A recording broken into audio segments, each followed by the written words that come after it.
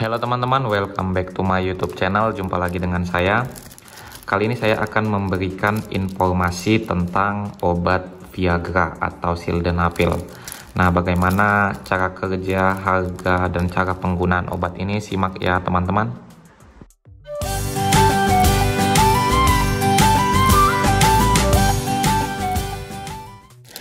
Jadi teman-teman, obat ini Viagra adalah suatu obat untuk mengatasi disfungsi ereksi ya teman-teman. Bentuk sediaannya seperti ini. Ini satu tablet ya teman-teman. Uh, harganya cukup mahal jadi saya hanya memberikan satu contoh obat Viagra. Merek dagangnya Sil Viagra dan uh, komposisinya adalah sildenafil.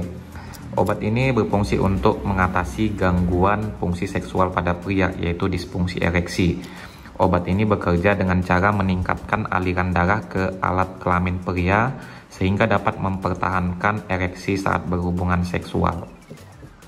Komposisinya ini Viagra adalah 100 mg sildenafil. Jadi e, obat ini e, bisa diberikan setengah tablet. E, dosisnya adalah 50 mg. Diberikan setengah jam sebelum aktivitas seksual. Maksimalnya adalah 100 mg per hari. Nah, cara penggunaannya adalah obat ini dikonsumsi satu jam sebelum melakukan hubungan seksual ya teman-teman. Jadi obat ini berisi 100 mg teman-teman 100 mg sildenafil. Jadi bisa dikonsumsi setengah tablet, bisa dikonsumsi satu tablet. Nah, seperti itu ya teman-teman. Jadi dikonsumsi adalah satu jam sebelum melakukan aktivitas seksual. Nah obat ini nanti bekerja meningkatkan aliran darah ke alat kelamin pria sehingga dapat mempertahankan ereksi saat berhubungan seksual.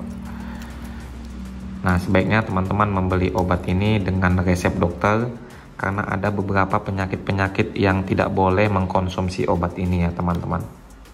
Harganya cukup mahal sekitar 160.000 eh, sampai 200.000 ya teman-teman. Cukup mahal obat ini. Jadi sebaiknya menggunakan seperlunya saja. Nah seperti ini bentuk sedianya. Satu tablet ini sekitar 160 sampai 200 ribu. Tergantung harganya tergantung apotik ya teman-teman. Oke teman-teman cukup sekian informasi singkat saya tentang obat ini. Jangan lupa like, komen, dan subscribe serta bagikan bagi teman-teman yang membutuhkan. Terima kasih, salam sehat